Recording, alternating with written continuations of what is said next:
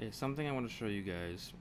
So when I installed the JL microsub, the 12 inch ported, I had originally ordered a cheap off the shelf from Amazon DS18 install kit.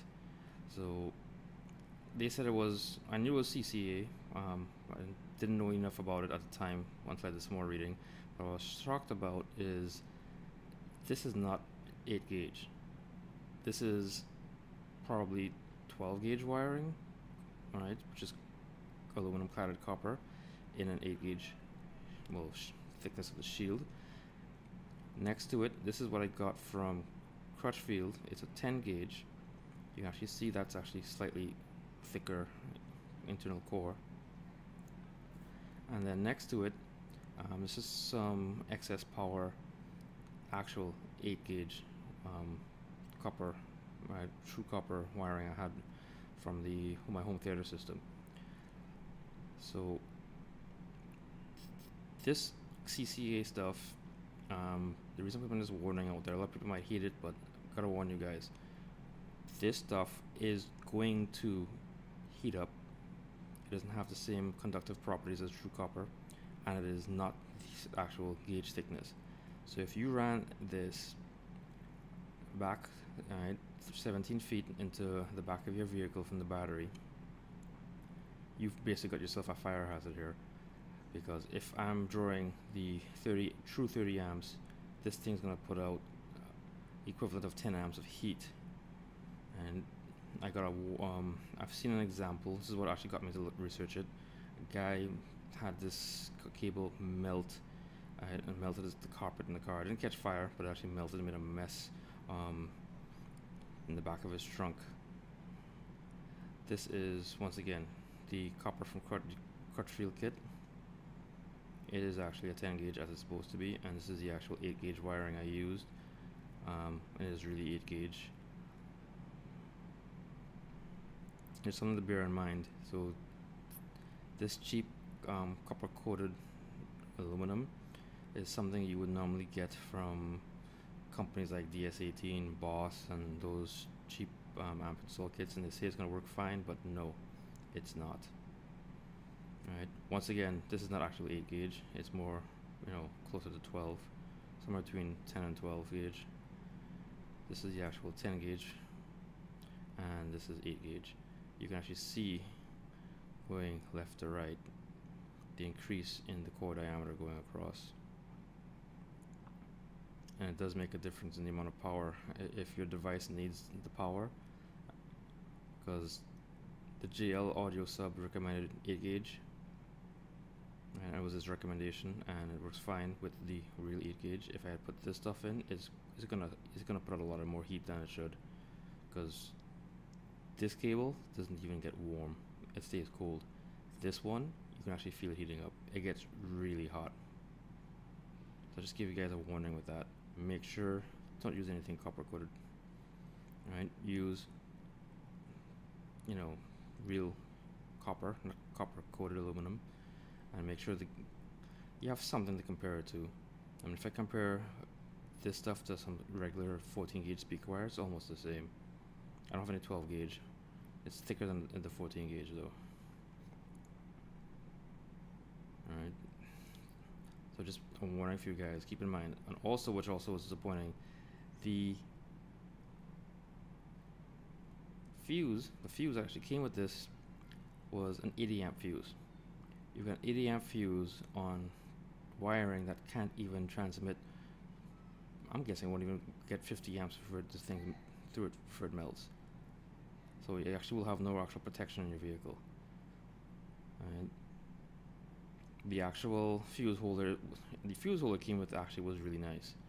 And what I did I changed out the fuse to 40 amp fuse probably the correct fuse for what I'm pulling out on the other end.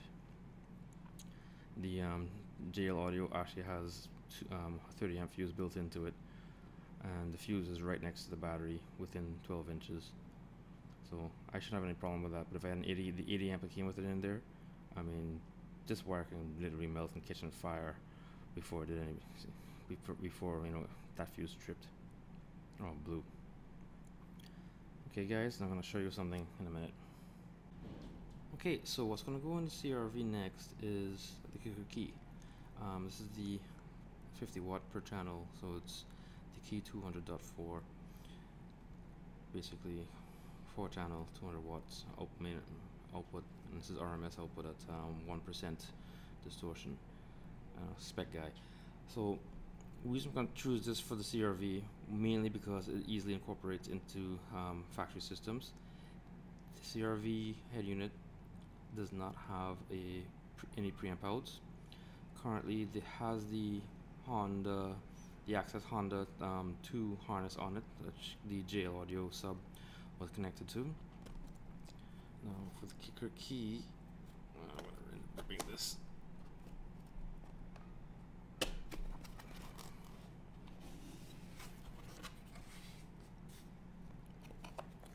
The hope, my hope is that I'll get a little extra power, mostly to get the rest of the system to easier align with the subwoofer. The subwoofer is very, very powerful. Like I said, the gain is still set to zero and it easily overpowers the stock system. I mean, I didn't expect it to overpower it that much with the gain so low.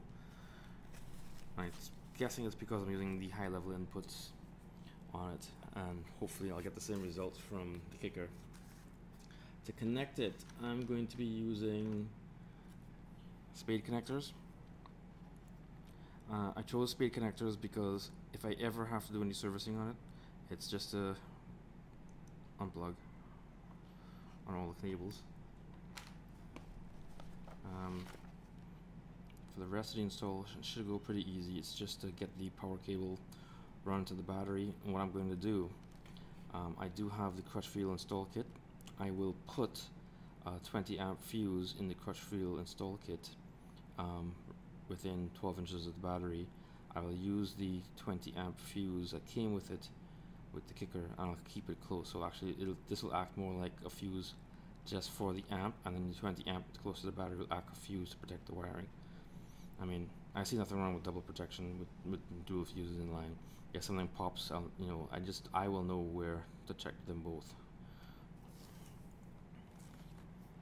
and what's surprising me with this unit is this thing small it is fairly small, and it's not as heavy as I thought it would be. I thought this thing would have some heft, and it doesn't. It's basically seven and a half by an inch and almost two inches by two and a half inches. I mean, this is gonna fit very easily behind, either behind the dash, and there's a location underneath the shift lever. Um, I'm thinking of duct tape, not duct taping, using tie straps. What I'm gonna do is gonna put four rubber feet so I'll get some lift off of it and there's an AC duct under there. Easily tie strap it onto that. I'll have the rubber feet to keep it up. I'll probably put a couple spots here of double-sided velcro as well. So I'll make sure it stays in place. Shouldn't be an issue won't have any rattling it'll be more than secure enough and it shouldn't get any heat or anything because it's going to be on top of a cooling AC duct this thing is actually tiny This is the mic that comes with it. I'm not going to open it up just yet. Very simple mic. And inside here with the both wiring harnesses is input side.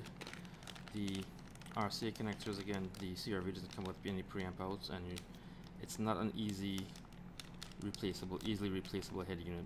I mean, some functions in the car that's incorporated into the head unit. So instead of messing with that, it's easier just to get an amplifier kit that's easily integratable. Factory fuse, um, well, the their fuse, and then you got the rubber here. That's supposed to keep the mic on top of your headrest. So I want to go stick this in. I'm guessing it's going to take me an hour, two at the most. Not really much to it. Hardest part really for me would get that um, power cable through the firewall. There is a rubber grommet. The last time I, um, what I found the easiest thing, on, at least on my Honda, from the inside, get a bamboo skewer, tape your power cable to it, and just run it through, pull it out the other end. And then, you know, cut cut as needed wired up. Um, I guess that's all to it. So I'm gonna go stick this in, and I'm gonna be back and show you what this thing sounds like. Um, thoughts? I'm impressed. Very impressed. So, if I had a higher end, I've had higher end systems in my pickup, and it took us hours to tune it. Alright, this took five minutes. Hit a button. It's not as sensitive as they make it sound. You do want it fairly quiet, but I mean, you know, if a car drives by, it's not gonna it's not gonna it's not gonna feel you know blaring loud music or something. The sound right now sounds like it's coming from just above the air vents, which before you know you got to hear the separation left and right. Now it's actually coming from the air right above the air vents. Didn't biamp it. Once again, it's a little above my skill level.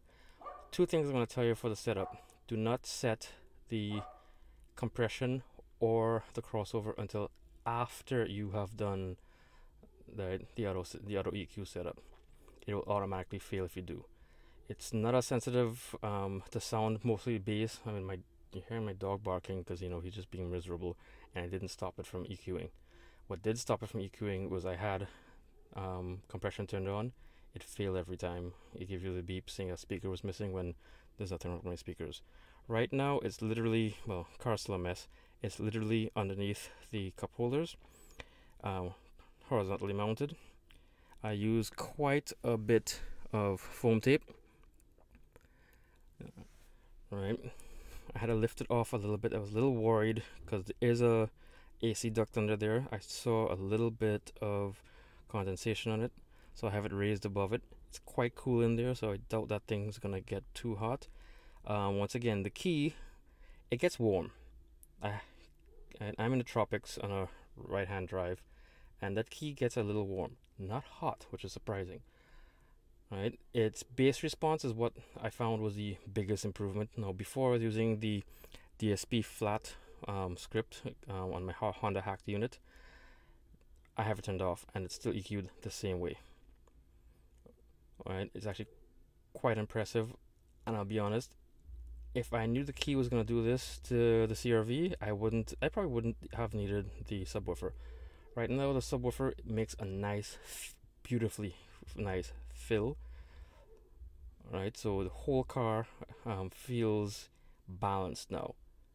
Right, time correction feels again. It sounds like it's coming. Actually, it sounds like it's coming from um, my other phone, which I have it mounted up there. So the sound sounds like it's coming from right there once it was finished a little high, but when you're driving, it's like in almost a perfect spot. Right, the it's horizontally mounted. The side panels there underneath um, the console there, they come off very easily. It's just you know grab onto it, pull it out. Um, getting them in is actually harder. Um, once I got these diamond car mats locally, um, they fit nice. They look good once well once I clean it up. But the more the way they fit underneath there kind of a pain when trying to put everything back together but other than that not a big deal so any questions feel free to ask once again i'm pretty impressed with the unit it's only like i got it on sale at crutchfield so like 220 bucks with the install kit. Um, everything went well. Um, don't know what else i can really say about it. You know the bass response is beautiful. At least with these morel speakers. So want me to play it again for you, just give me a minute and I'll let you hear it with a couple different flavors of music. You want to hear something else, just send me a DM and I'll play it for you. Go, go, go,